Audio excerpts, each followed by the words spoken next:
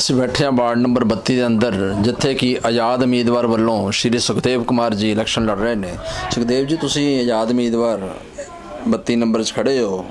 ਕੀ ਤੁਹਾਡਾ ਏਜੰਡਾ ਹੈ? ਕਿਹੜੇ ਮੁੱਦਿਆਂ 'ਤੇ ਤੁਸੀਂ ਇਲੈਕਸ਼ਨ ਲੜ ਰਹੇ ਹੋ? ਮੇਰਾ ਮੇਨ ਏਜੰਡਾ ਹੈ ਕਿ ਸਾਡੇ ਵਾਰਡ ਦਾ ਵਿਕਾਸ ਹੋਵੇ, ਜਿਹੜਾ ਕਿ ਪਿਛਲੇ ਕਈ ਸਾਲਾਂ ਤੋਂ ਵਿਸਕਾ- ਵਿਕਾਸ ਨਹੀਂ ਹੋ ਰਿਹਾ।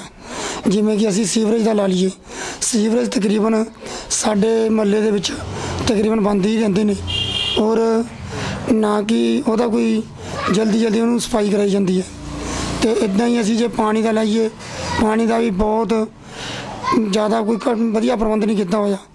ਤੇ ਪਾਣੀ ਦਾ ਵੀ ਅਸੀਂ ਚਾਹੁੰਦੇ ਹਾਂ ਕਿ ਵਧੀਆ ਅੱਛਾ ਪ੍ਰਬੰਧ ਹੋਵੇ, ਜਿਹੜਾ ਕਿ ਲੋਕਾਂ ਨੂੰ ਸਾਫ਼ ਪਾਣੀ ਮਿਲੇ ਤੇ ਫਿਲਟਰ ਕੀਤਾ ਹੋਇਆ ਪਾਣੀ ਮਿਲੇ। ਅਸੀਂ ਚਾਹੁੰਦੇ ਹਾਂ ਜਿਹੜੀ ਮੈਂ ਜਿੱਤ ਮੈਂ ਜਿੱਤ ਕੇ ਆਉਂਗਾ ਔਰ ਮੈਂ ਇੱਥੇ ਸਾਰਿਆਂ ਵਾਸਤੇ ਫਿਲਟਰ ਪਾਣੀ ਦਾ ਪ੍ਰਬੰਧ ਕਰੂੰਗਾ, ਜਿਹੜਾ ਕਿ ਆਪਣੇ ਸਰੀਰ ਵਾਸਤੇ ਬਹੁਤ ਹੀ ਜ਼ਰੂਰੀ ਹੈ।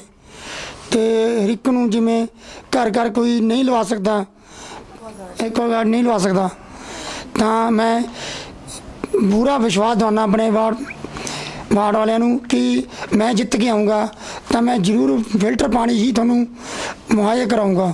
ਔਰ ਜਿਹੜਾ ਕਿ ਤੁਸੀਂ ਨਾ ਸੜਕਾਂ ਬਣਨੀਆਂ ਚਾਹੀਦੀਆਂ ਸੀ, ਵਧੀਆ ਸੜਕਾਂ ਬਣਨੀਆਂ ਚਾਹੀਦੀਆਂ ਸੀ, ਇੱਥੇ ਸੜਕਾਂ ਬਣਦੀਆਂ ਜ਼ਰੂਰ ਨੇ, ਪਰ ਬਣਦੀਆਂ 2 ਮਹੀਨੇ ਵਾਸਤੇ ਨੇ। ਕਿਉਂਕਿ ਜਿੰਨਾ ਪੈਸਾ ਕਮੇਟੀ ਤੋਂ ਮਨਜ਼ੂਰ ਹੁੰਦਾ, ਉਨਾ ਪੈਸਾ ਵਾਰਡ ਤੇ ਨਹੀਂ ਲੱਗਿਆ ਜਾਂਦਾ।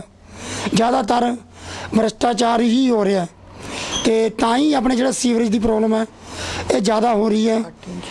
ਜੇ ਮੰਨ ਲਓ ਜਿੱਥੇ ਪੈਪ 8-8 10-10 ਇੰਚੀ ਪੈਣੇ ਚਾਹੀਦੇ ਨੇ, ਉੱਥੇ ਇਹਨਾਂ ਦੇ ਪੈਪ 4-4 ਇੰਚੀ ਨੇ। ਤੇ ਅਸੀਂ, ਮੈਂ ਵਿਸ਼ਵਾਸ ਦਵਾਨਾ ਅਗਰ ਆਪਣੇ ਵਾਰਡ ਨੂੰ ਜਿੰਨੀ ਵੀ ਮੰਨ ਲਓ 1 ਲੱਖ ਜਾਂ 10 ਲੱਖ ਜੋ ਵੀ ਮਨਜ਼ੂਰ ਹੋਊਗਾ, ਉਹਦੇ ਚ ਮੈਂ ਵੱਧ ਹੀ ਮਤਲਬ 10000 ਆਪਣੇ ਕੋਲੋਂ ਲਾ ਕੇ ਵੀ ਵੱਧ ਲਾ ਕੇ ਕੰਮ ਕਰਾਉਂਗਾ ਨਾ ਕਿ ਉਹਦੇ ਵਿੱਚੋਂ ਕੋਈ ਬੰਦਾ ਕੁਛ ਭ੍ਰਸ਼ਟਾਚਾਰ ਕਰ ਸਕੇ। ਸਵੇਰੇ ਉੱਠ ਕੇ ਮੈਂ ਚੈੱਕ ਇੱਕ ਮੈਂ ਸਵੇਰੇ ਉੱਠ ਕੇ ਪਹਿਲਾਂ ਚੈਕਿੰਗ ਕਰਨ ਵਾਸਤੇ ਜ਼ਰੂਰ ਜਾਇਆ ਕਰੂੰਗਾ ਕਿ ਜੇ ਕਿਸੇ ਦੀ ਕੋਈ ਪ੍ਰੋਬਲਮ ਹੈ, ਉਹਨੂੰ ਹੱਲ ਕੀਤਾ ਜਾਵੇ। ਇੱਕ ਇੱਥੇ ਮੈਂ ਗੱਲ ਹੋਰ ਬਹੁਤ ਵਰ- ਕਹਿਣਾ ਚਾਹਾਂਗਾ ਕਿ ਜਿਹੜੇ ਸਾਡੇ ਕੀ ਨੀਲੇ ਕਾਰਡ ਨੇ, ਜਿਹੜੇ ਜ਼ਰੂਰਤਮੰਦਾਂ ਨੇ, ਉਹਨਾਂ ਨੂੰ ਮਿਲਣੇ ਚਾਹੀਦੇ ਨੇ। ਔਰ ਮੈਂ ਪਹਿਲ ਦੇ ਆਧਾਰ ਤੇ, ਕਿਉਂਕਿ ਜਿਹੜਾ ਸਾਡਾ ਵਾਰਡ ਹੈ, ਇਹਦੇ ਵਿੱਚ ਬਹੁਤ ਹੀ ਜ਼ਿਆਦਾ ਪੂਰ ਲੋਕ ਰਹਿੰਦੇ ਨੇ, ਜਿਨ੍ਹਾਂ ਨੂੰ ਨੀਲੇ ਕਾਰਡ ਦੀ ਬਹੁਤ ਜ਼ਰੂਰਤ ਹੈ। ਤੇ ਮੈਂ ਉਹਨਾਂ ਦੇ ਨੀਲੇ ਕਾਰਡ ਪਹਿਲ ਦੇ ਆਧਾਰ ਤੇ ਬਣਾਉਂਗਾ ਔਰ ਮੈਂ ਵਾਅਦਾ ਕਰਦਾ ਜਦ ਵੀ ਮੈਂ ਜਿੱਤ ਕੇ ਆਉਂਗਾ ਔਰ ਜਿੱਤ ਕੇ ਵੀ ਜ਼ਰੂਰ ਆਉਂਗਾ ਮੈਂ ਨੀਲੇ ਕਾਰਡ ਉਹਨਾਂ ਦੇ ਜ਼ਰੂਰ ਬਣਾਉਂਗਾ। ਜਿਨ੍ਹਾਂ ਦੇ ਕੱਟੇ ਵੀ ਗਏ ਨੇ ਉਹਨਾਂ ਤੇ ਵੀ ਮੈਂ ਦੁਬਾਰ ਦੀ ਗੌਰ ਕਰਾ ਕੇ ਜੇ ਜ਼ਰੂਰੀ ਹੋਣਗੇ ਤਾਂ ਜ਼ਰੂਰ ਬਣਾ ਕੇ ਦੂੰਗਾ ਸਾਡੇ ਨਾਲ ਮੌਜੂਦ ਨੇ ਸ਼੍ਰੀ ਸੁਖਦੇਵ ਕੁਮਾਰ ਜੀ ਦੀ ਪਤਨੀ ਕਾਂਤਾ ਰਾਣੀ ਜੀ। ਤੁਹਾਡੇ ਹਸਬੰਡ ਇਲੈਕਸ਼ਨ ਲੜਨ ਜਾ ਰਹੇ ਨੇ। ਕੀ ਕਹਿਣਾ ਚਾਹੋਗੇ? ਮੈਂ ਇਹੀ ਕਹਿਣਾ ਚਾਹਾਂਗੀ ਕਿ ਇਹਨਾਂ ਦੇ ਦਿਲ ਦੇ ਵਿੱਚ ਇੱਕ ਸ਼ੌਂਕ ਹੈ ਵੀ ਮੈਂ ਵਾਰਡ ਦੀ ਸੇਵਾ ਕਰਨੀ ਹੈ। ਇਹ ਕੋਈ ਜਿੱਤ ਜਾਂ ਹਾਰ ਦਾ ਫੈਸਲਾ ਸਮਝ ਕੇ ਨਹੀਂ ਇਲੈਕਸ਼ਨ ਲੜ ਰਹੇ। ਇਹਨਾਂ ਦੇ ਮਨ ਦੇ ਵਿੱਚ ਇਹ ਸ਼ੌਂਕ ਹੈ ਵੀ ਮੈਂ ਆਪਣੇ ਵਾਰਡ ਨੂੰ ਕਿਸ ਤਰ੍ਹਾਂ ਸੁੰਦਰ ਬਣਾਉਣਾ ਹੈ, ਕਿਸ ਤਰ੍ਹਾਂ ਇਸ ਨੂੰ ਚੇਂਜ ਕਰਨਾ ਹੈ, ਕਿਸ ਤਰ੍ਹਾਂ ਇਸ ਨੂੰ ਇੱਕ ਨਵਾਂ ਰੂਪ ਦੇਣਾ ਹੈ। ਇਹੀ ਇਹਨਾਂ ਦੇ ਦਿਲ ਦੀ ਇੱਛਾ ਹੈ। ਹੋਰ ਕੋਈ ਐ ਨਹੀਂ ਹੈਗਾ ਵੀ ਮੈਂ ਜਿੱਤ ਜਾਊਂਗਾ, ਹਾਰ ਜਾਊਂਗਾ। ਬਸ ਇਹ ਵਾਰਡ ਦੀ ਸੇਵਾ ਕਰਨੀ ਚਾਹੁੰਦੇ ਨੇ। ਆਹੀ ਮੈਂ ਕਹਿਣਾ ਚਾਹੂੰਗੀ। ਤੁਸੀਂ ਬੀਇੰਗ ਲੇਡੀ ਹਾਂਜੀ। ਕਿਉਂਕਿ ਅਸੀਂ ਦੇਖਦੇ ਹਾਂ ਸਮਾਜ ਦੇ ਅੰਦਰ ਵੀ ਅੱਜ ਕੱਲ ਲੇਡੀਜ਼ ਜਿਹੜੀ ਨਾ ਬੜੀ ਸੁਰੱਖਿਆ ਫੀਲ ਕਰਦੀਆਂ। ਹਾਂਜੀ। ਵੀ ਕੁਝ ਵਾਰਡ 'ਚ ਐਸਾ ਵੀ ਮਾਹੌਲ ਬਣਾਉਣਗੇ ਜਿੱਤਣ ਤੋਂ ਬਾਅਦ ਵੀ ਲੇਡੀਜ਼ ਬੇਖੌਫ ਆ ਜਾ ਸਕਣ ਕੋਈ ਐਸਾ ਮਾਹੌਲ ਹੋ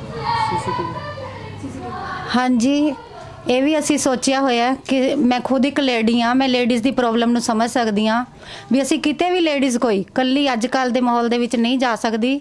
ਤੇ ਇਹਨਾਂ ਨੇ ਸੋਚਿਆ ਹੋਇਆ ਕਿ ਮੈਂ ਆਪਣੇ ਵਾਰਡ ਦੇ ਵਿੱਚ ਸੀਸੀ ਕੈਮਰਿਆਂ ਦਾ ਅਰੇਂਜਮੈਂਟ ਕਰੂੰਗਾ ਤੇ ਇਸ ਦੇ ਨਾਲ ਲੇਡੀਜ਼ ਨੂੰ ਥੋੜੀ ਸੁਰੱਖਿਆ ਮਿਲੇਗੀ। ਲਾਈਟਿੰਗ ਵਗੈਰਾ। ਲਾਈਟਨਿੰਗ ਠੀਕ ਹੋਏਗੀ ਜਿਹੜੀ ਆਪਾਂ ਕਈ ਵਾਰੀ ਦੇਖਦੇ ਹਾਂ ਕਈ ਐਮਸੀ ਥੋੜੀ ਜਿਹੀ ਲਾਪਰਵਾਹੀ ਕਰ ਜਾਂਦੇ ਨੇ ਪਰ ਅਸੀਂ ਇਸ ਤਰ੍ਹਾਂ ਦੀ ਲਾਪਰਵਾਹੀ ਨਹੀਂ ਕਰਾਂਗੇ ਤੇ ਪੂਰਾ ਧਿਆਨ ਰੱਖਿਆ ਜਾਵੇਗਾ ਲਾਈਟਨਿੰਗ ਦਾ ਸਾਡੇ ਨਾਲ ਮੌਜੂਦ ਨੇ ਵਾਰਡ ਨੰਬਰ 32 ਦੇ ਕੁਝ ਵੋਟਰ। ਕੀ ਨਾਂ ਜੀ ਤੁਹਾਡਾ? ਹੈਪੀ ਬਤਰਾ ਜੀ। ਅੱਛਾ ਤੁਸੀਂ ਇਸੇ ਵਾਰਡ 'ਚ ਰਹਿੰਦੇ ਹੋ? ਬਿਲਕੁਲ ਜੀ। ਅੱਛਾ ਤੁਹਾਡੇ ਵਾਰਡ 'ਚ ਜਿੱਦਾਂ ਇਲੈਕਸ਼ਨ ਲੜ ਰਹੇ ਨੇ ਸੁਖਦੇਵ ਜੀ ਬਿਲਕੁਲ ਜੀ। ਇੰਡੀਪੈਂਡੈਂਟ ਕੈਂਡੀਡੇਟ ਹਾਂਜੀ, ਹਾਂਜੀ। ਚਾਹੋਗੇ ਨਾ ਬਾਰੇ? ਅਸੀਂ ਉਹਨਾਂ ਬਾਰੇ ਇਹ ਕਹਿਣਾ ਚਾਹੁੰਦੇ ਹਾਂ ਜੀ ਕਿ ਉਹਨਾਂ ਦੇ ਮਦਰ ਬਹੁਤ ਨਾਈਸ ਸੀਗੇ ਬਹੁਤ ਹੀ ਹੋਣਹਾਰ ਤੇ ਬਹੁਤ ਹੀ ਨਾਈਸ ਪਰਿਵਾਰ ਦੇ ਬੱਚੇ ਨੇ। ਸਾਡੇ ਮਹੱਲੇ ਦੀ ਸੁਰੱਖਿਆ ਲਈ ਜਿੱਦਾਂ ਇਹਨਾਂ ਦੇ ਮਾਤਾ ਜੀ ਜੁੜੇ ਹੋਏ ਸੀਗੇ ਜਿਨੇ ਵੀ ਜੀ ਪੰਜਾਬੀ ਚੈਨਲ ਦੇਖ ਰਹੇ ਨੇ ਉਹਨਾਂ ਦਾ ਹੈਪੀ ਬਤਰਾ ਵੱਲੋਂ ਨਮਸਕਾਰ। ਤੇ ਜਿੱਦਾਂ ਇਹਨਾਂ ਨੇ ਭਾਜੀ ਨੇ ਦੱਸਿਆ ਕਿ ਤੁਸੀਂ ਉਹਨਾਂ ਨੂੰ ਕਿੱਦਾਂ ਚੁਣਨਾ ਚਾਹੁੰਦੇ ਹੋ? ਉਹਨਾਂ ਦੇ ਵਾਈਫ ਉਹਨਾਂ ਦੇ ਬੱਚੇ ਬਹੁਤ ਹੀ ਨਾਈਸ ਪਰਿਵਾਰ ਤੋਂ। ਉਹਨਾਂ ਦੀਆਂ ਉਮੀਦਾਂ ਇਹ ਨੇ ਕਿ ਅੱਜ ਦੇ ਕੱਲ ਜਿੱਦਾਂ ਕਿ ਯੰਗ ਮੁੰਡੇ ਬਹੁਤ ਹੀ ਨਸ਼ਿਆਂ ਦੇ ਵਿੱਚ ਜਾ ਰਹੇ ਨੇ, ਕਿ ਨਾ ਜਾ ਸਕਣ। ਜਿੱਦਾਂ ਕਾਂਤਾ ਭੈਣ ਜੀ ਨੇ ਕਿਹਾ ਸੀਗਾ ਕਿ ਕੁਝ ਲੇਡੀਜ਼ ਇਕੱਲੇ ਨਹੀਂ ਜਾ ਸਕਦੇ। ਕੁਝ ਪ੍ਰੋਬਲਮਸ ਆ ਇਦਾਂ ਦੀਆਂ ਹੁੰਦੀਆਂ, ਜੋ ਕਿ ਮਹੱਲੇ 'ਚ ਅੱਜ ਕੱਲ ਖੋਹ ਵੀ ਬਹੁਤ ਹੋ ਰਹੀ ਆ। ਦੇਖ ਰਹੇ ਹਾਂ ਕਿ ਫਲਾਨੀ ਲੇਡੀਜ਼ ਦਾ ਪਰਸ ਖੋਇਆ ਗਿਆ ਜਾਂ ਫਲਾਨੀ ਲੇਡੀਜ਼ ਨੂੰ ਐਦਾਂ ਛੇੜਿਆ ਗਿਆ। ਹਰ ਚੀਜ਼ ਦੀ ਸੁਰੱਖਿਆ ਦਾ ਜ਼ਿੰਮੇਵਾਰੀ ਲੈਣ ਨੂੰ ਵੀ ਤਿਆਰ ਨੇ ਤੇ ਅੱਗੇ ਵੀ ਇਹਨਾਂ ਨੇ ਕਈ ਸਮੱਸਿਆ ਦੇ ਹੱਲ ਜੋ ਕਿ ਐਮਸੀ ਤੋਂ ਬਿਨਾਂ ਵੀ ਵਿਚਾਰਿਆਂ ਨੇ ਕੱਢੇ ਨੇ।